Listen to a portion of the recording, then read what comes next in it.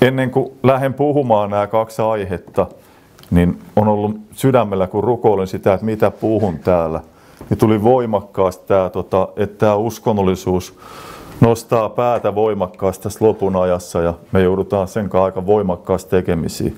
Ja niin kuin me kuultiin äsken, niin se uskonnollisuus julistaa ne, jotka uskoo raamatun totuuteen, niin julistaa niitä sitten harhaoppisiksi ja antaa niille kadotustuomio. Mutta meidän ei tarvitse pelätä heidän antamaan kadotustuomio, jos me ollaan Jumalan armon alla. Mutta me mennään tällaiseen aikaan, missä tämä uskonnollisuus alkaa tosi voimakkaasti vaikuttaa. Ja tämä raamattu tunti on vaeltakaa kutsumuksenne arvon mukaisesti. Ja me vähän katsotaan nyt sitä, että millä tavalla meidän tulisi elää pyhityselämässä ja millä tavalla, mikä on Jumalan tahto siitä, että miten meidän tulee elää. Se tulee Efesolaiskirje neljäs luku, sitä vaan pääasiassa käsitellään ja sitten muutama muu jae. Mutta tämä on tosi tärkeä aihe. Mutta ennen kuin katsotaan tuo Efesolainen neljä, niin katsotaan täältä Jeesuksen sanat. Kun ihmisen poika tulee, löytäneekö hän uskoa maan päältä? Ja tämä uskosana on pistis, joka tarkoittaa uskoa pitää tuotana varmuus, uskollisuus. Tarkoittaa sitä, että ne ihmiset, jotka sanoo uskovansa Jeesukseen, ne, ne jotka oikeasti uskoo ja pitää totena, ja niillä on uskonvarmuus sydämessä, jotka on uskollisia, niin ne on maan päällä vähemmistönä silloin, kun Jeesus tulee. Ja sitten suuri osa vaeltaa sitten ties missä ja osa sitten jopa sitten luopumuksen tilassa antikristillisten tota, asioiden ikeen alla luulen sitten kumminkin olevansa pelastuneessa tilassa. Mutta se, mikä tässä on tosi erikoista tänä päivänä, että hyvin harva uskova, kun tulee tähän, niin hän ei ymmärrä, mitä tästä tarkoitetaan. Tämä on vakava paikka. Löytäneekö hän uskoa maan päältä? Ja sitten hän sanoo toisessa kohtaa, että tulee paljon vääriä profeettoja, tekee paljon tunnustekoihmeitä ja opettaa niitä väärät profeettat opettaa, mitä opettaa. Ja nyt jos sä katsot tätä aikaa, missä me eletään, niin tällainen usko ja erilaiset uskon ilmentymät ja opetukset, jotka on kaikki ihan erilaisia, myös ristiriitaisia, ne lisääntyy vaan niin koko aika. Eli tämä, mitä Jeesus tässä sanoo, hän profetoi tuo esille se, että kun hänen toinen tulemus tulee, niin silloin vähemmistö, pieni jäännös on niitä, jotka uskoo Herraa Jeesukseen Jumalan sanan totuuden mukaisesti. He ei ole täydellisiä, mutta he on pieniä ja heikkoja, heille ei kelpaa muu kuin Jumala. He ei luota uskonnollisia viisauksia eikä omaa voimaansa, vaan Jumalaa. Ja sitten tässä lapsenomaisessa uskossa he sitten kykenee sitten näkemään, mikä totuus on. Ja he saa nähdä sen, että se on Jumalan voima, vaikutus, joka vaikuttaa heissä, että se ei ole heistä itsestään. Mutta katsotaan nyt sitten tämä Efesolainen neljä. Me käydään kokonaan tämä jaa läpi ja ehkä katsotaan muutama raamatun kohta sen ulkopuolelta, mutta me käydään läpi Efesolainen neljä, koska tämä on niin tärkeä opetus ja se avaa myös tätä aikaa, missä me eletään. Sitten se avaa meille sitä, että miten meidän tulisi vaeltaa. Tässä on Efesolainen 4 ja 1. Niin kehoitan siis minä, joka olen vankina Herrassa, teitä vaeltamaan niin kuin saamanne kutsumuksen arvo vaatii. Eli tässä jakeessa, anteeksi, tässä luvussa, tässä asiayhteydessä, apostoli Paavali, joka oli Jumalan Jeesuksen henkilökohtaisesti opettama, niin hän nyt sanoo ja opettaa, että niin kuin meidän saamamme kutsumuksen arvo vaatii meitä vaeltamaan. Että mitä kaikkea se niin kuin sitten sisältää. Ja tässä kun se alkaa sitten, niin tota, Paavali tuo esille pyhässä hengessä Jumalalta, Jumalan sydämeltä. Kaikessa nöyryydessä, hiljaisuudessa, pitkämielisyydessä kärsikää toinen toistanne rakkaudessa. Eli me tiedetään, että liha on nöyrä eikä liha ole hiljainen, koska se hiljaisuus tarkoittaa sitä, että me ollaan lähellä Herraa ja me ollaan valmiita häntä kuuntelemaan, eikä melskata lihassa sitä. Mutta Jumala vaikuttaa meissä nöyryyttä, että me alistutaan Jumalan tahdon alle, että me ei luoteta itseen eikä uskonnollisiin perinteisiin, vaan me luotetaan Jumalaa ja hänen sanansa totuuteen. Ja sitten Jumala haluaa, että meillä on nöyryyttä, hiljaisuutta ja pitkämielisyyttä. Ja sitten siinä kärsikää toinen toisianne rakkaudessa. Tämä ei tarkoita sitä, että kun me kärsimme toinen toisiaan rakkaudessa, että seurakunta saa kuin pellossa ja siellä saa kuka tahansa tehdä mitä tahansa. Sitä se ei tarkoita. Seurakunnassa on tietty kuri ja järjestys, jonka Jumalankin on asettanut, että ei voi millä tavalla mennä tahansa. Mutta kumminkin se tarkoittaa sitä, että meidän kumminkin tulee oikeissa puitteissa kärsiä toinen toistamme rakkaudessa. Ja sitten sen kautta, sen avulla asiat alkaa sitten avautumaan ja me päässään uskossa eteenpäin ja sitten ihminen tulee oikealla tavalla huomioiduksi, että, että me rakastamme toinen toista, me annamme toisillemme aikaa. Mutta tämä kärsiminen toinen toistanne rakkaudessa, kaikessa nöyryydessä, pitkämielisyydessä, niin se ei ole oikein toteutunut tänä päivänä. Tänä päivänä on tosi paljon tällaisia niin kuin erilaisia uskonsuuntia, niiden ulkopuolisia ryhmiä, jotka on kaikki niin kuin, tavallaan niin kuin, nimennyt itsensä, että se on joku oma seurakunta tai joku oma yhteisö erotettuna muista. Ja sitten siellä sisällä on valtavasti riitoja, niin kuin jännitteitä. Mutta tämä kärsiminen toinen toista rakkaudessa pitäisi sitä, sen takia pitäisi kärsiä, että me olisi yksi. Niin kuin Jumala on yksi ja me olisi yksi usko, yksi seurakunta. Me elettäisiin siihen todellisuuteen, oikeaan todellisuuteen, minkä Jumala on kutsunut. Eikä lähettäisi sitten lihan mukaan menemään hajannukseen. Ja sitten tässä on vielä kolossalainen 3.13.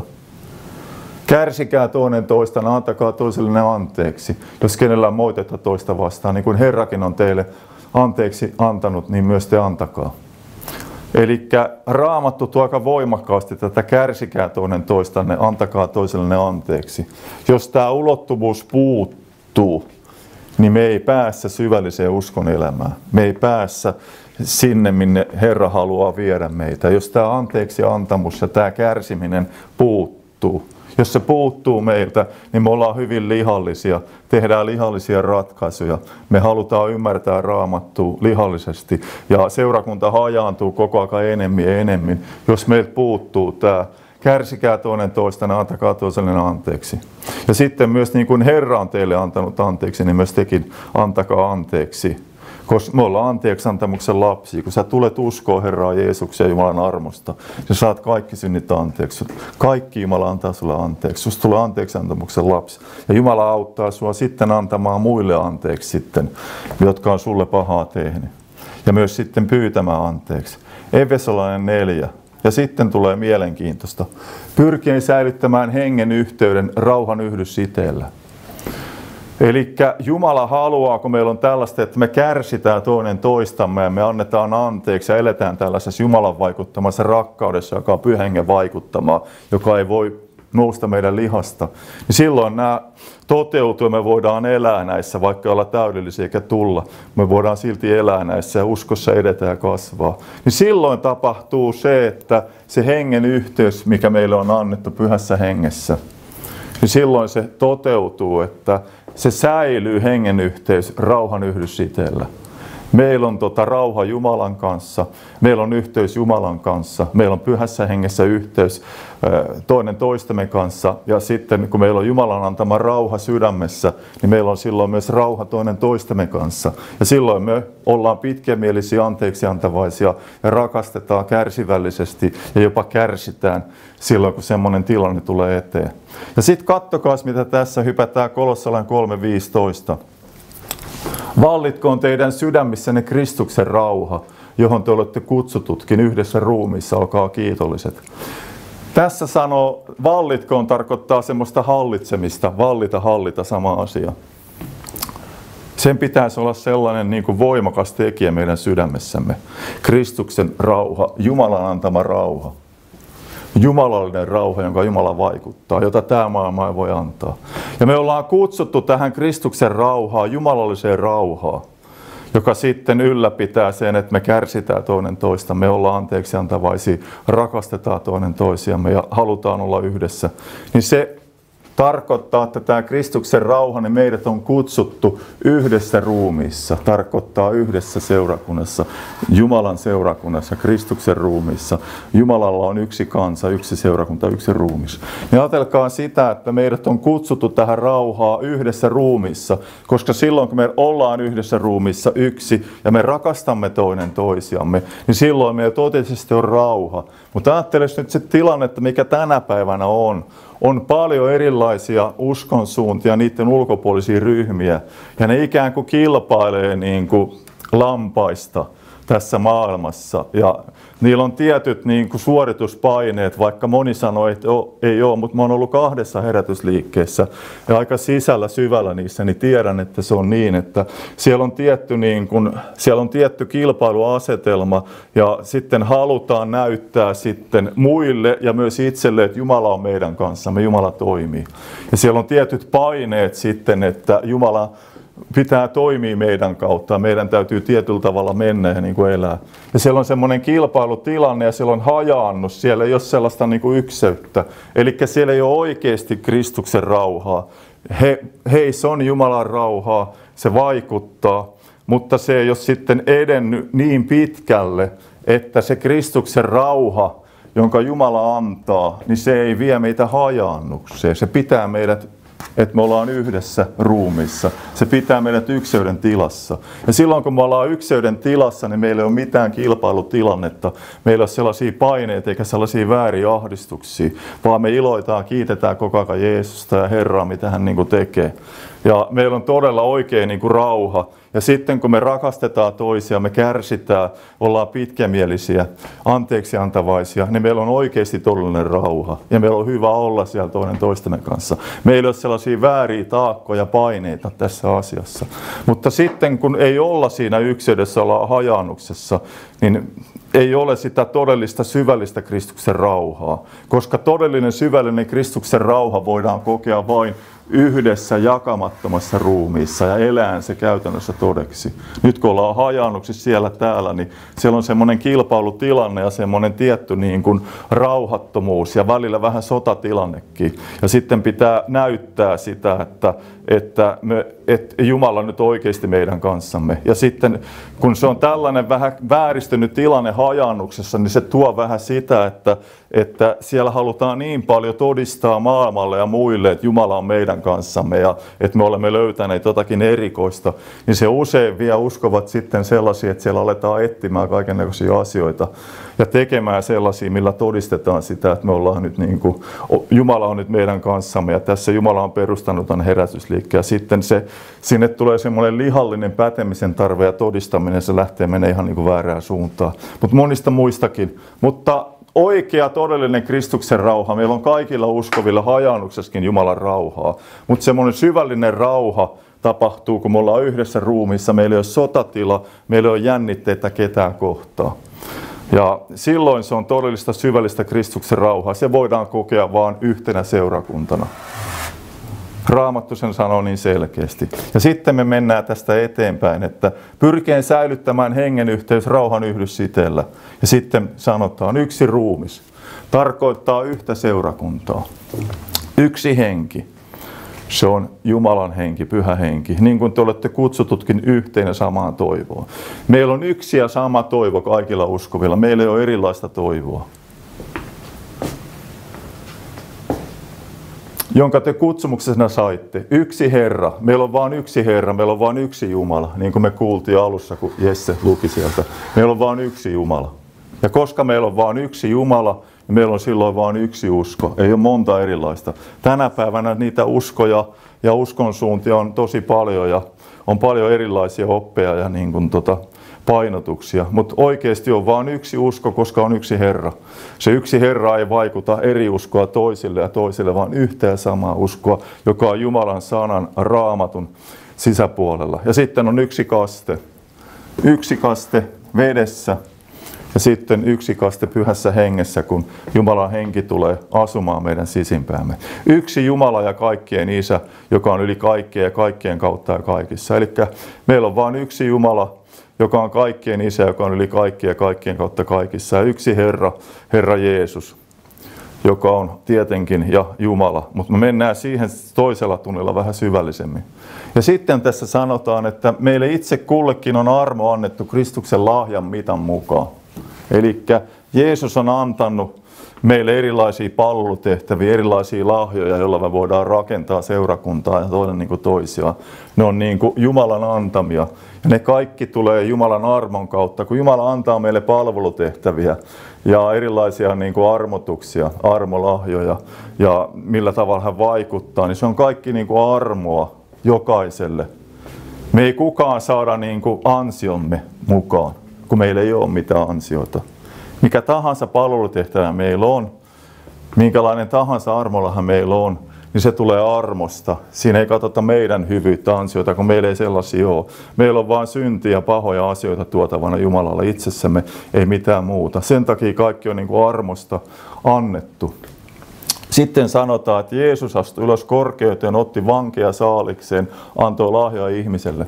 Eli hän on tota Jumala, joka on tullut alas tähän maailmaan ja hän on mennyt takaisin sille kirkkauteen ja korkeuteen. Hän on ottanut vankeja saalikseen, hän antoi lahjo ihmisille. Mä ymmärrän tästä niin, että tästä tulee se, että hän on niin kuin pelastanut ihmisiä. Ne, jotka on ollut synnin orjuudessa ja saatanan vankeudessa, ne hän on ottanut niin kuin itselleen, jotka haluaa uskoa Jeesukseen. Ja sitten kun ne pelastuu, katuen tunnustaa syntinsä, ne saa pelastuksen Jumalan armosta ja sitten he saa lahjoja.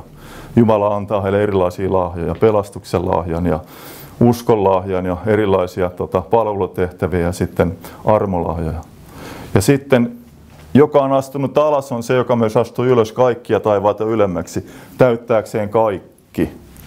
Ja Herra Jeesus on täyttänyt kaikki. Hän kuoli ja sitten hän nousi kuolleista ja nousi ylös isän oikealle puolelle. Sitten mennään vähän eteenpäin. Tämä loppu on mielenkiintoinen koska tästä tulee opetusta seurakunnalle. Tässä sanotaan, että tehdäkseen, anteeksi, hän antoi muutamat apostoleiksi. Nyt puhutaan seurakunnalle, Jumalan seurakunnalle. Seurakunta on Jumalan, ei meidän. Meillä ei voi olla omaa seurakuntaa. Me kaikki kuulumme Jumalan seurakuntaan. Nyt hän on antanut seurakuntaa muutamat apostoleiksi. Ja tämä apostolin palvelutehtävä ei ole lakannut minnekään. Se on edelleen niin kuin voimassa. Se on koko tämän armotalouskauden niin kuin voimassa. Ja rukoillaan sitä, että kun seurakunta ennallistuu ja Jumala ennallistaa, niin hän palauttaa tietenkin apostolin palvelutehtävän paikalle ja se on koko aika, koko aika ollut voimassa, mutta hän palauttaa, hän kutsuu joitakin veljiä apostoleiksi. Ihan lyhkäisesti vaan sanon siihen, että kun Paavali sanoo, että kaikki apostolien tunnustajat oli tehty niin kuin siellä, kun he kattoja sitten mitteli sitä, että onko hän. Ja hän sanoi, että kaikki apostolien tunnusteot oli tehty niin kuin näiden keskuudessa. No mitä Paavali teki?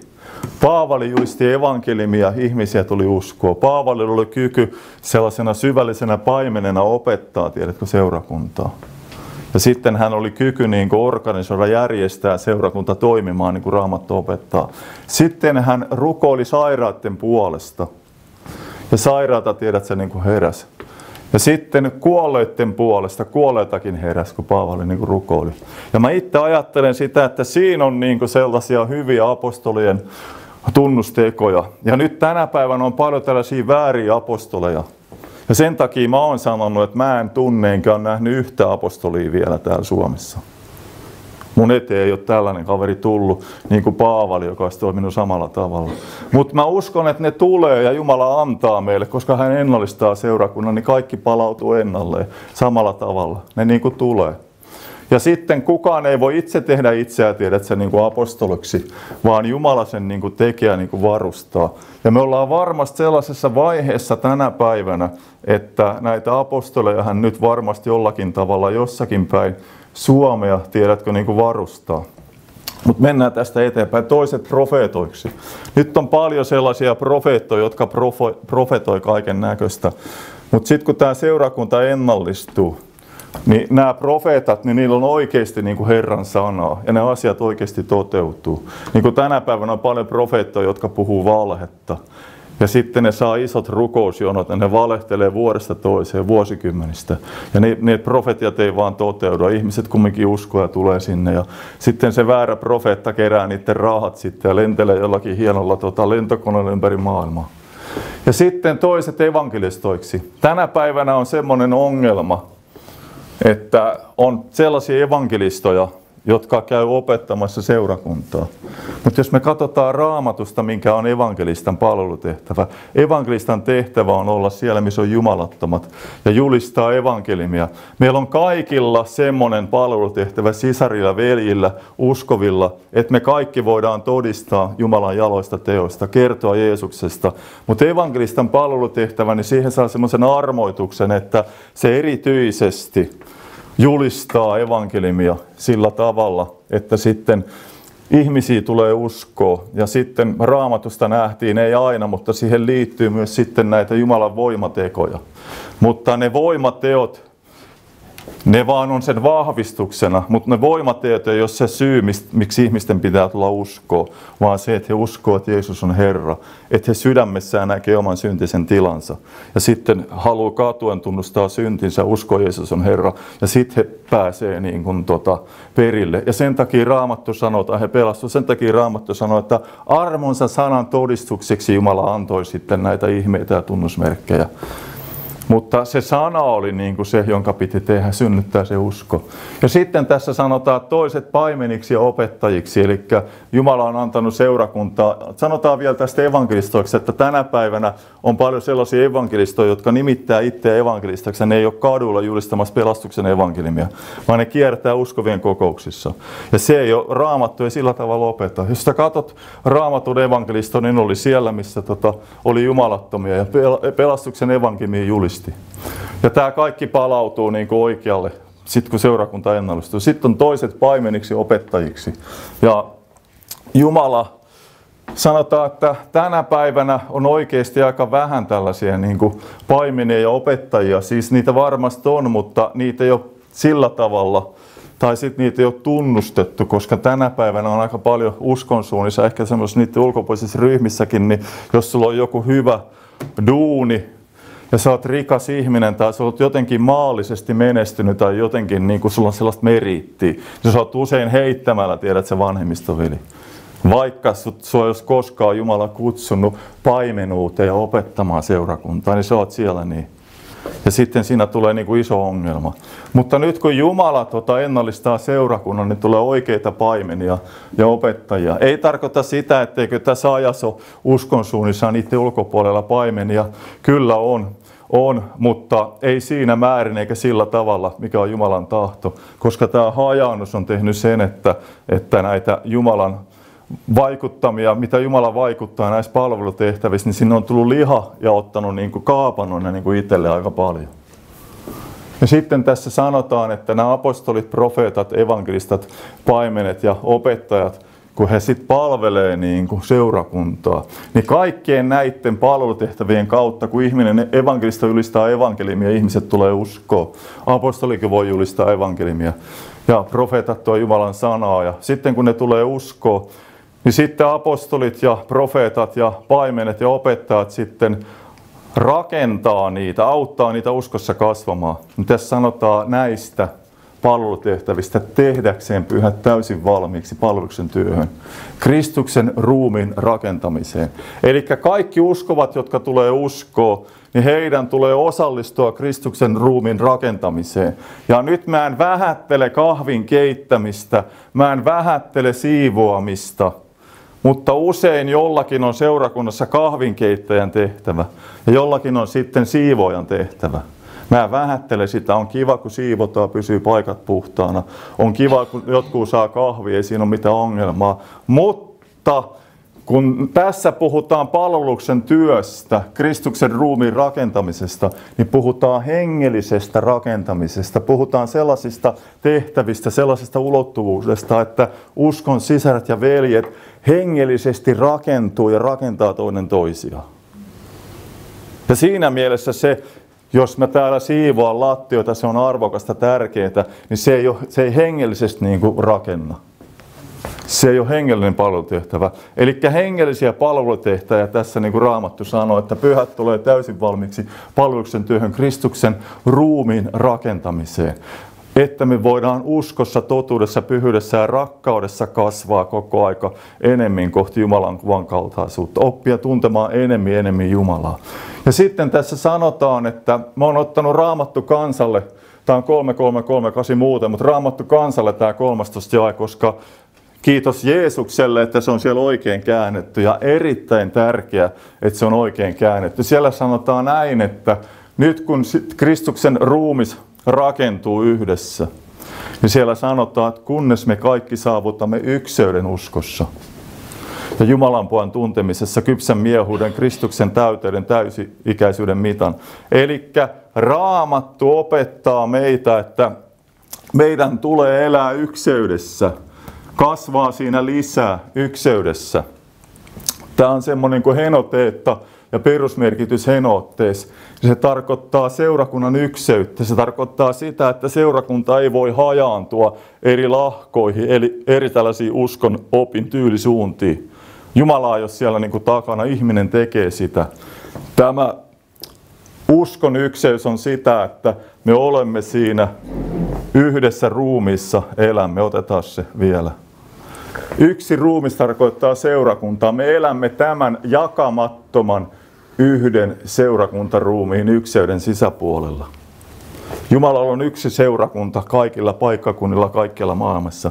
Jumalalla ei ole montaa erilaista seurakuntaa eri opilla. Me ollaan niin tehty ne. Mutta tämä on tosi tärkeä asia, että Jumala haluaa, että me saavutamme, me kasvamme ykseydestä käsin, ei hajannusta käsin. Se tuo sitä levottomuutta, kilpailua, paljon niin ongelmia. Ja se tuo sellaisia, se tuo sellaisia vääriä taakkoja. Mutta sitten kun me ykseydestä rakastetaan toinen toisiamme, niin se tuo hänen uuden ulottuvuuden. Mä uskon sen, että kun ihmiset ymmärtäisivät tämän ja pääsis pois sellaisesta hajannuksesta ja siitä kaikesta taakasta, mitä siellä on.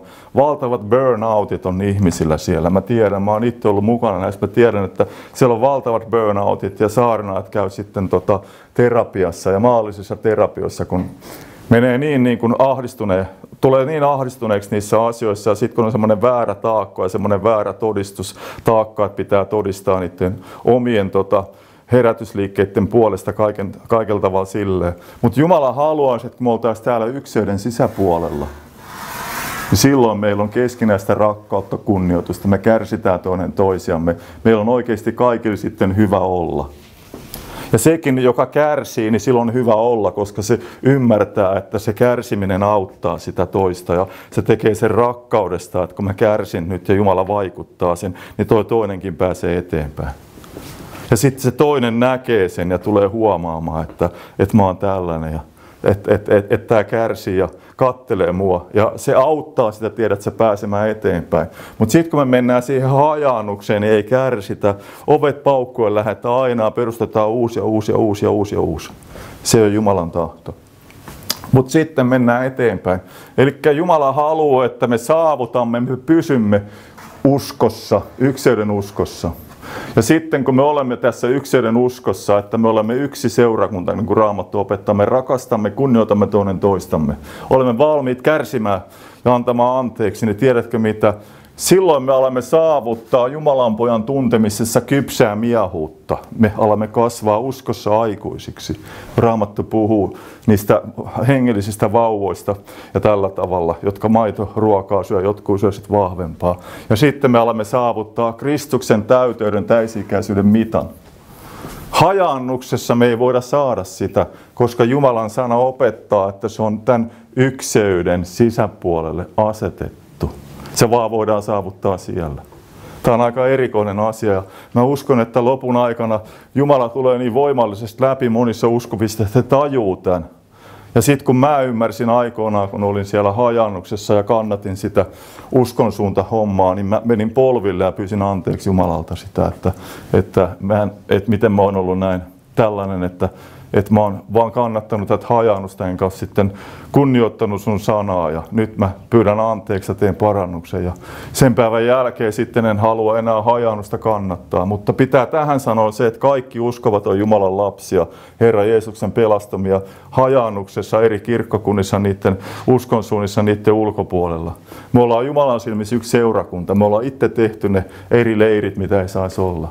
Ja nyt kun tota, tämä yhden seurakunnan ykseys ja se, että me ykseydestä toisiaan kunnioittaa rakastaa pitkämielisesti saamme uskossa kasvaa, niin se johtaa meidät siihen tilaan, että me emme ole enää alaikäisiä, jotka ajelehtivat, joita viskellään kaikissa opintuulissa, ihmisten arpapelissä, eksityksen kavalissa juonissa. Pysähytään tähän hetkeksi. Hajannus tekee sen, että sä näet, sä näet 30, 40 vuotta, 50 vuotta uskossa olleita – erilaisissa uskonsuunnissa niiden ulkopuolella hajannuksen tilassa, sä näet, että he ei ole vielä päässyt montaa metriä eteenpäin uskon tiellä, kun on siellä hajannuksen sisällä. Valtava semmoinen lihallisuus ja uskonnollisuus ja, ja mitä kaikkea siellä niin vaikuttaa. Sen takia, koska Raamattu sanoo, että oikea todellinen täyteys Kristuksessa voidaan saavuttaa vaan seurakunnan uskon yksilöiden sisäpuolella – että me rakastamme, me kärsimme, me kunnioitamme toinen toisia, me annamme anteeksi ja me Jumalan armosta nöyrymme, niin se lähtee kasvattaa meitä tosi syvälliseen uskoon. Mutta jos meillä ei ole näitä ulottuvuuksia, me aina mennään vaan ja mennään, perustetaan toista, eikä, ja aina suututaan toisia, meillä on aina sellaisia omia juttuja, perustetaan oma kuvio ja sitten mennään sen kanssa eteenpäin, niin me ei päässä niin tähän täyteen miehuuteen. Ja silloin enemmän tai vähemmän uskovat jää alaikäisiksi. Ja sitten kun ne on alaikäisiä, niin tiedätkö mitä ne ajelehtii, joita viskellään kaikissa opintuulissa. Siellä meidän kotona, meidän kotonta ei ole pitkä matka omaa rantaa. Meillä aukeaa siinä valtavan iso järven selkä. Ja mä siellä, en ole enää ollut pari-kolme vuotta, ei ole enää aikaa, mutta aikoinaan kävin paljon kalastamassa yksin tai jonkun kaverin kanssa ja välin vaimon kanssa. Ja muistan väliin, kun mä olin yksin siellä järvellä ja yhtäkkiä, kun tulee semmoinen voimakas tuuli tai tuulinen ilma, se saattoi alkaa niin kuin yhtäkkiä. Niin mä en enää päässyt sillä veneellä sinne, minne piti mennä niin kuin suoraan. Vaan mun oli niin kuin aje, mä ajelehdin sitten rannalle, jonnekin rannalle. Ja sitten mä sousin sitä rantaa pitkin vaivalloisessa tuntikaupalla, jos mä olin kaukana niin kuin koti omalle niin kuin sinne. Ja tuli vaan mieleen, kun eilen näitä tutkin, että kun siellä oli, niin samalla tavalla sitten, jos et sä oot tässä ykseyden, tiedät niin kuin sisäpuolella, ja siellä sä opit oikeasti rakastamaan ja jopa kärsimään, anteeksi antamaan, olet pitkämielinen. Ne on kaikki sellaisia Jumalan vaikuttamia ominaisuuksia. Mutta hajannuksessa ihmiset ei arvosta näitä Jumalan vaikuttamia ominaisuuksia, vaan ne tekee lihassa päätöksiä. Mennään, perustetaan uusi. En anna anteeksi, en rakasta, en kärsi. Potkitaan ikään kuin päähän. Niin ne jää sitten tällaiseen alaikäisyyteen, ne jää ajelehtimaan. Ja sitten kun ei ole sitä oikeaa todellista niin kuin ykseyden, uskon, uskon ykseyden vaikuttamaa, Jumalan vaikuttamaa uskoa, niin sitten jäädä ajelehtimaan, vaikka oltaisiin kuinka pitkälti uskossa. Ja sitten mitä tapahtuu, kun ei ole tämä ykseyden usko ja sellainen ykseyden rakkaus, anteeksiantamus, pitkämielisyys, kärsivällisyys, jos ei se ole päässyt vaikuttamaan, joita viskellään kaikissa opintuulissa. Tänäpä mä en halua ketään niin kuin mollata millään tavalla. Me ollaan kaikki vajavaisia ihmisiä ja itsekin on monta kertaa erehtynyt ja saanut paljon tehnyt parannusta, mutta mä oon nähnyt tässä hajannuksessa paljon sellaista, että ihmiset on niin kuin ajelehtii, ne ajelehtii ja niitä viskellään kaikissa opintuulissa. Se oli vähän sama juttu, kun mä olin sillä veneellä semmoinen pien soutuvene, niin se mistä tuuli kävi, niin sinne se tuuli vei mut. Mä olisin halunnut mennä toiselle puolelle, mutta en mä päässyt. Ei ollut mitään mahdollisuutta. Tuuli vei minne se vei ja sitten rantoi pitkin kotiin. Mutta tämä puhuu aika paljon sitä, että jos me ei olla tässä yksilön uskossa, niin on paljon tällaisia niin kuin erilaisia opintuulia. Ykseydessä on vain yksi usko. Toki siellä ihmiset voi ajatella vähän eri tavalla asioita, mutta ne kasvaa koko ajan kumminkin siihen yhteen ja samaa uskoa. Seurakunta kasvaa. Seurakunta ei ole koskaan sellainen, että se jää johonkin tiettyyn tasoon uskovat. Ne lukee jotakin tunnustuskirjoja ja sitten me uskotaan näin. Ei, vaan usko kasvaa meissä kaikissa. Ja se kun usko kun kasvaa meissä kaikissa, täällä paikkakunnalla kaikkialla, niin se usko kasvaa koko aika tällä tavalla, että me mennään koko aika, ymmärretään enemmän enemmän samalla tavalla, samalla tavalla. Se menee koko ajan yhteen suuntaan. Ja se on se niin kuin, tota, Jumalan vaikuttamaa uskoa. Mutta hajaannuksessa ollaan erilaisissa opintuulissa, kuin ei olla ykseydessä. Ja nyt tässä lopun ajassa niin näitä opintuulia on vaikka kuinka paljon. Ja mä otan yhden asian, minkä tuossa Sysmässä toin esille, mutta tuon ihan lyhkäisesti, että kun tulin uskoa, tai usko tuli minun 91 vuonna, niin sitten lähdin innoissaan tota kaikkia kirkkokuntia, erilaisia uskoryhmiä, ulkopuolisia juttuja, ja mä etin totuutta niin kuin innoissaan ja juoksi joka paikassa. Sitten kun mä menin johonkin, ne kertoi mulle totuuden. Mä olin ihan innoissaan, nyt mä tiedän totuuden. Sitten mä menin toiseen paikkaan, ne kertoi mulle totuuden, joka oli erilainen, kumos sen toisen. Sitten mä menin kolmanteen paikkaan koko ajan silleen, tiedätkö mitä, Mä menin yhdessä vaiheessa ihan sekaisin. Ahdisti niin kuin se, että mikä on totta. Tuntui tosi sekavalta, että ei hyvänen aika. Ja jokainen oli varmona siitä, että meillä on totuus. Ei, ne ei tiedä mitään. Se tuli esille niin opettaa väärin, mutta meille, Jumala on meille antanut tämän totuuden. No, mä olin kumminkin sekaisin ja ahdistissa ja sitten Herra puhui pyhässä hengessä, että jätä kaikki, jätä kaikki tällaiset niin kuin oppiriidat ja hengelliset kirjat, älä, älä niin kuin lue niitä vaan lue Jumalan sanaa viisi vuotta ja sitten käyt kokouksissa siellä, missä sä käyt. Mutta älä, älä, älä käy näissä uskon suunnissa, äläkä luo mitään hengellistä kirjaa viiteen vuoteen. Vaan käyt siellä, missä sä käyt ja luet vaan raamattua viisi vuotta.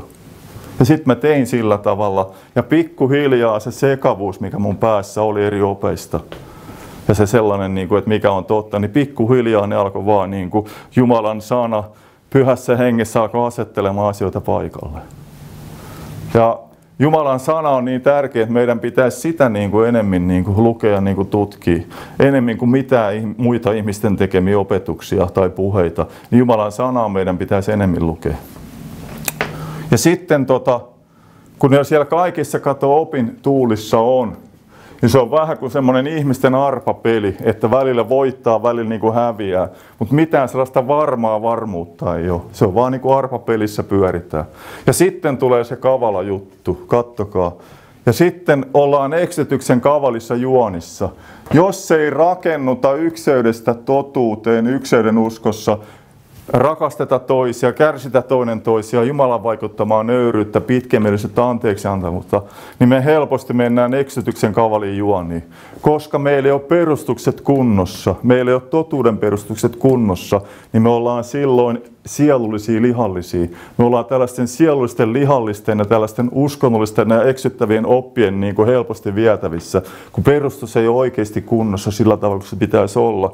Ja silloin sellainen ihminen on helppo eksyttää ja viedä erilaisia juonia.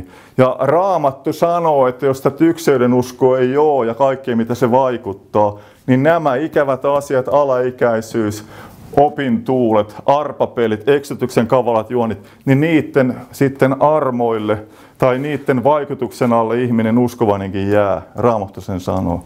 Sen takia tämä hajannus on tosi paha asia, mutta mennään tästä eteenpäin. Raamattu sanoo, että meidän tulee totuutta noudattaa rakkaudessa kaikin tavoin kasvaa Jeesukseen, Kristukseen, Messiaaseen, Jeesukseen, joka on pää. Eli totuutta noudattaa rakkaudessa. Tämä on aika voimakas sana nyt, kun me ollaan nähty, mitä se niin vaikuttaa.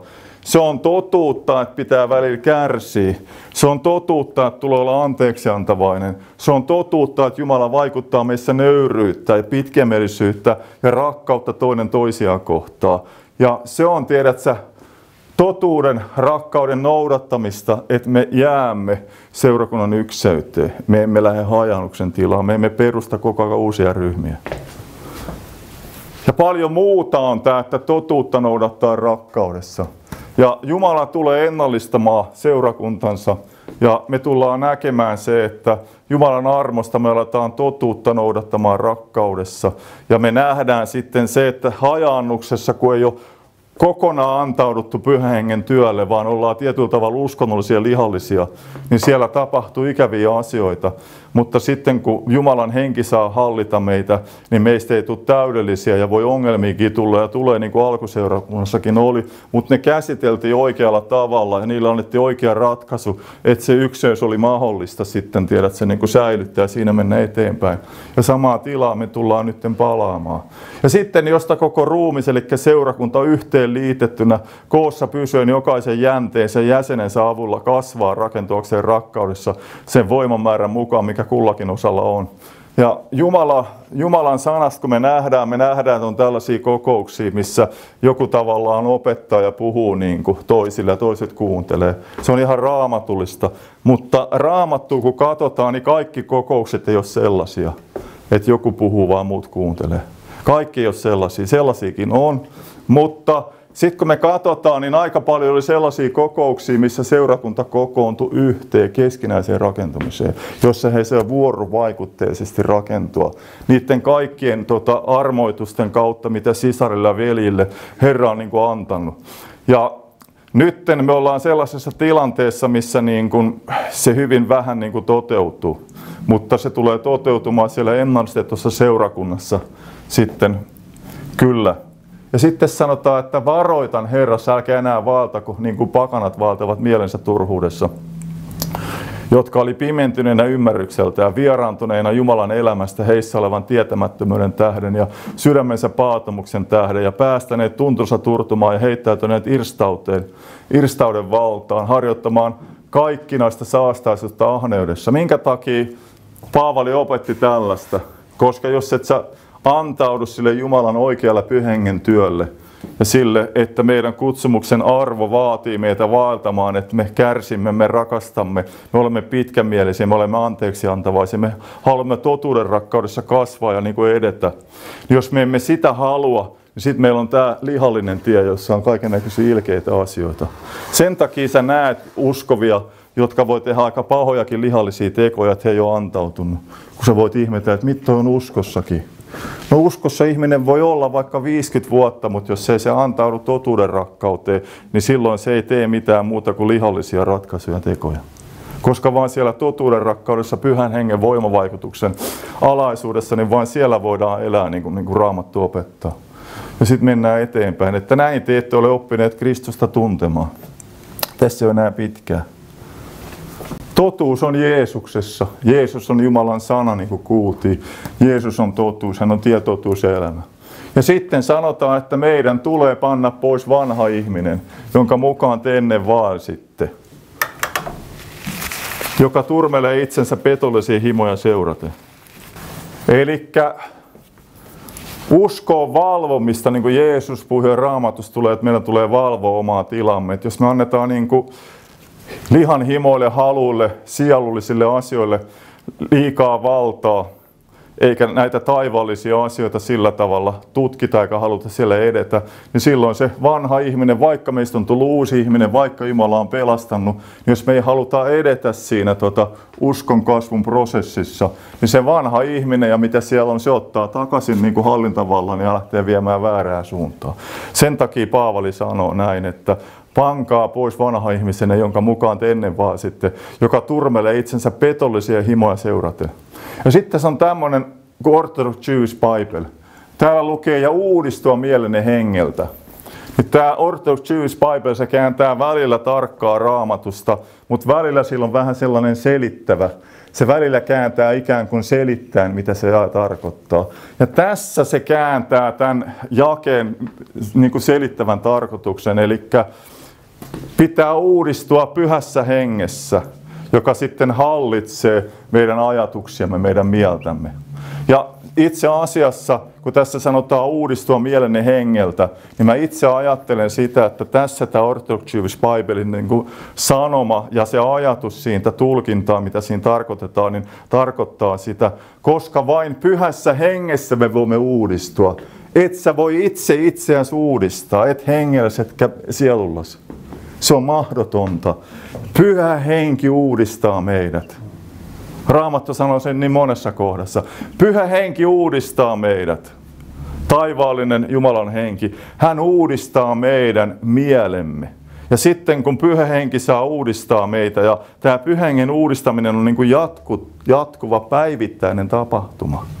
Jeesus sanoo niin voimakkaasti, että meidän tulee kieltää itsemme ja seurata häntä. Joka päivä pyhä henki haluaa uudistaa meitä. Joka päivä me voidaan jollakin alueella kieltää itsemme ja seurata Herraa, valita niin kuin Jumalan tahto, oppia kasvamaan, uskomaan Herraa Jeesukseen. Ja sitten kun tota pyhä henki oikeasti uudistaa meidän mieltämme, niin sitten tota, me voidaan pukea päällenne uusi ihminen. Tarkoittaa sitä, että me voidaan elää sen uuden ihmisen elämän mukaan, eli mitä pyhä henki vaikuttaa.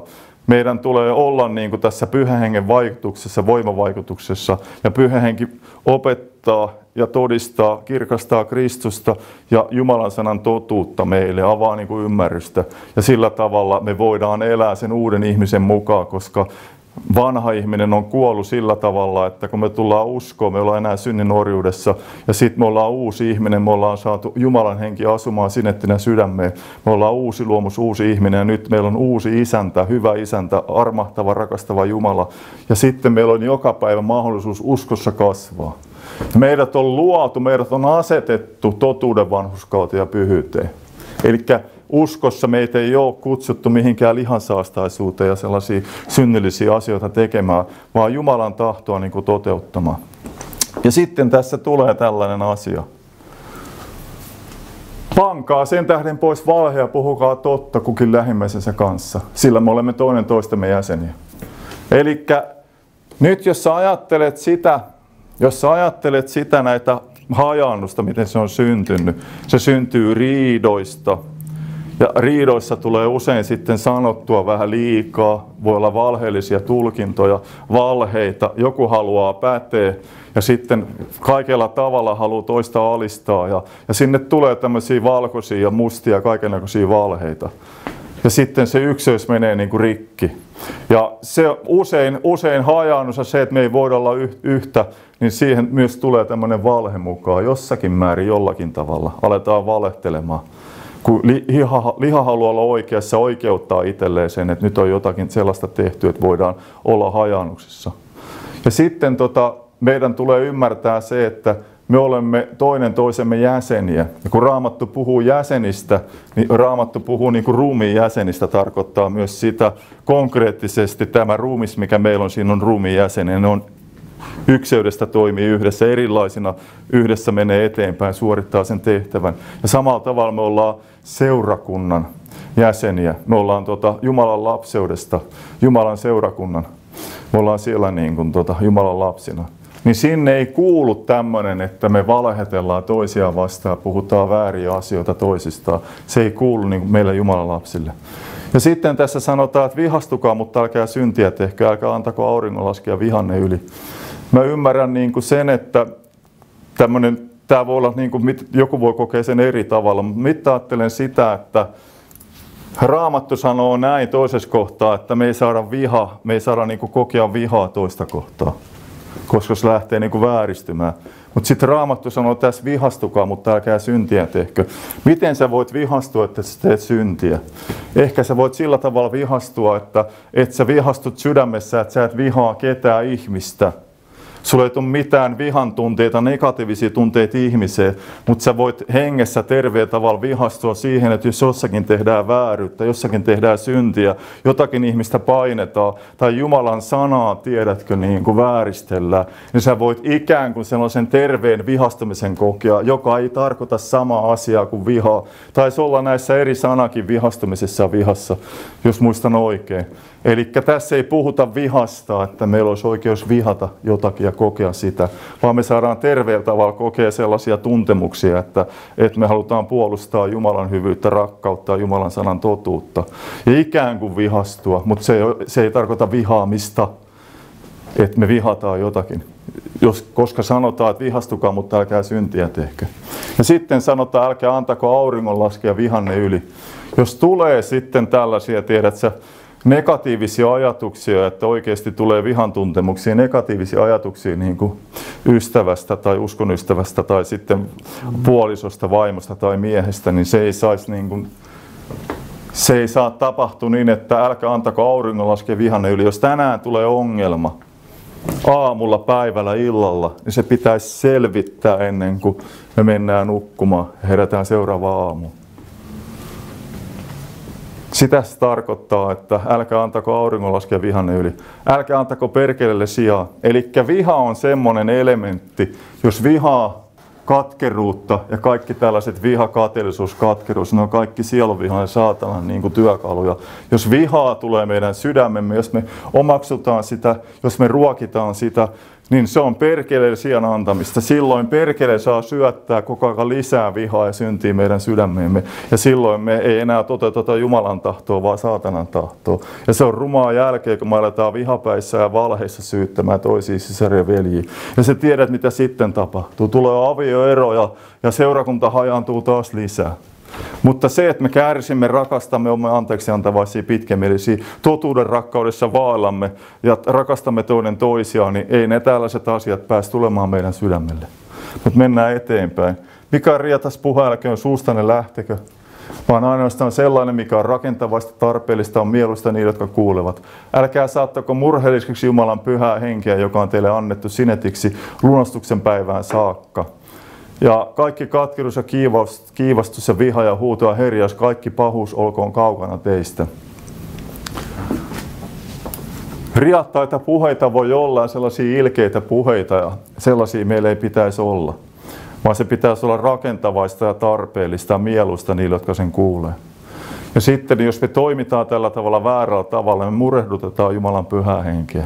Ja sitä Raamattu sanoo, että me ei saada tehdä. Se ei ole Jumalan mielen mukaista, että me murehdutamme Jumalan henkeä joka meillä on annettu sinetiksi lunastuksen päivään saakka. Ja sitten kaikki tämmöinen katkeruus, kiivastus, viha, huuto, herjaus, kaikki pahuus olkoon kaukana teistä. Koska jos nämä valtaa meidän sydämen, niin se ykseyden rakkaus ja totuus niin se kaikki niin kuin kumoutuu ja me lähdetään väärään suuntaan hajannuksia, tulee omia leirejä lisää taas uskon suuntia. Ja lisää vaan sitten uskoja riitoja ja kinoja ja jännitteitä, joita ei välttämättä koskaan uskovat haluaisi tässä ajassa korjata. Mä tuon ihan lyhkäisesti semmoisen asian esille. Mä en halua sanoa nyt niiden kirkkokuntien nimiä, kun tämä ahdistaa mua, tämä asia.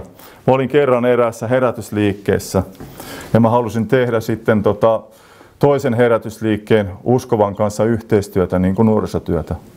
Ja sitten tämä mun herätysliikkeen tavallaan niin kuin se työntekijä, kun mä olin nuorisotyöntekijä, se sanoi, että, että älä, tee niin kuin, älä, tee niin kuin tämän, älä tee sen kanssa, vaan tee niin kuin tämän meidän herätysliikkeen tässä lähellä olevien niin kuin kaupunkien, kylien, kuntien kanssa niin kuin yhteistyötä, mutta älä sen toisen.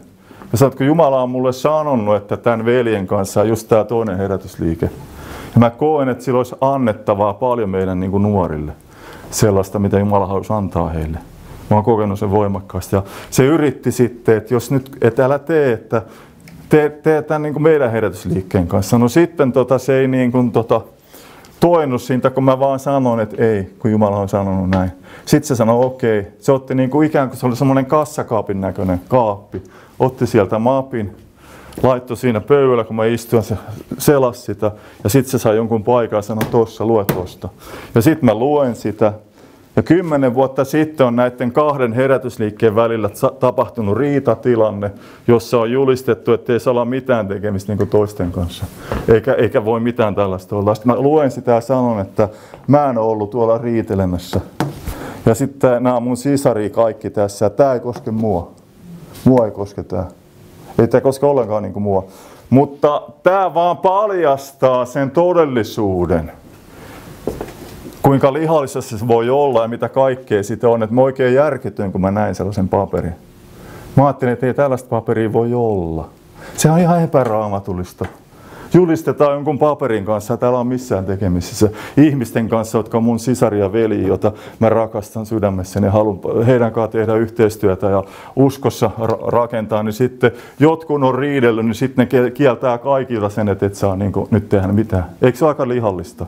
Tämä on ihan hirvittävää ja kauheata. Mutta tässä lopun ajassa mennään kohti eteenpäin tällaisia asioita. Ihmiset on kiilottanut oman ulkokuorensa tosi kauniiksi, mutta tässä lopun ajassa nämä tulee romahtamaan aika voimakkaasti, nämä ihmisten tekemät jutut. Ja Jumalan tuomiot tulee me, meille kaikille, jos meillä on jotakin tällaista vilppiä. Mutta mennään eteenpäin.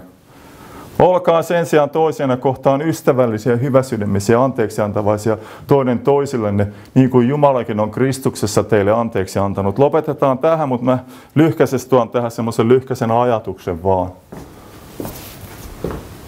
Raamattu sanoo, että meidän tulisi olla ystävällisiä, hyväsydämisiä, anteeksi antavaisia toinen toisellemme, niin kuin Jumala on Kristuksessa meille antanut anteeksi. Mutta nyt täytyy ottaa, että seurakunnassa on tietyt käyttäytymisjärjestykset, ja sitten jos joku toimii väärin, niin raamatussa jopa sanotaan, että, että pitää tehdä tiettyjä toimenpiteitä. Ja jopa joskus sitten vähäksi aikaa vaikka jäähylle seurakunnan ulkopuolelle. Ja mitä nyt Raamattu siellä kumminkin niin opettaa, niin näin niin poissulje sitä, että seurakunnassa ei voi ihan mitenkä tahansa toimia käyttäytyy. Mutta Raamattu kehottaa meitä kaikkia olemaan ystävällisiä, hyväsydämisiä, anteeksi antavaisia toinen toisellenne. Ja sitten meidän tulee antaa anteeksi, niin kuin Kristuksessa Kristus on meille anteeksi antanut.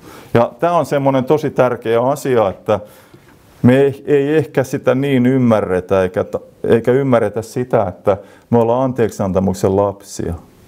Ja mä oon joutunut monta kertaa elämässä sellaiseen tilanteeseen, missä mua kohtaan niin kuin hyökätty, aika pahastikin on hyökätty. Ja sitten on käynyt Jumalan kanssa vähän niin kuin neuvottelu. Niin ei Jumala ole koskaan antanut mun lihalle lupaa olla vihanen ja katkera ja niin kuin kiukutella. Vaan Jumala aina vaan me en osaa sitten sanoa, mutta pyhässä hengessä hyvin lempeästi. Ja sitten sellaisella lempeällä kumminkin sellaisella majesteetin auktoriteetilla lempeästi sanoo, että sinut on kutsuttu antamaan anteeksi, antakaa anteeksi. Se on sinun osasi. Elä anteeksi antamuksessa, ole anteeksi antamuksen lapsi. Ja sitten tota, me joudun siihen sitten tilanteeseen useinkin ja siellä ihan uskon alkuvaiheessa joudun monta kertaa, niin mä aina sanoin, että ei mulla ole voimaa antaa anteeksi. Mä sanoin, mä tunnustin Jeesus, että ei mulla ole voimaa antaa anteeksi. Että nyt liha on niin loukkaantunut. Te tiedätte kaikki, kun meillä on liha. Se on välillä niin loukkaantunut ja niin loukkaantunut. Niin mä sanoin, että ei mulla ole voimaa antaa anteeksi. Mä tiedän sen, mutta kun ei ole. Ja sitten Jumala sanoo, monta kertaa on sanonut, että Jumala vaikuttaa teissä tahtomisen. Ja sitten kun pyytää sitä, että no vaikuta tahtomisen tekeminen, auta mua jos sä oikeasti haluat, että no vaikuta, auta, opeta, miten sä vaikutat sen tahtomisen tekemiseen, niin arvaa mitä.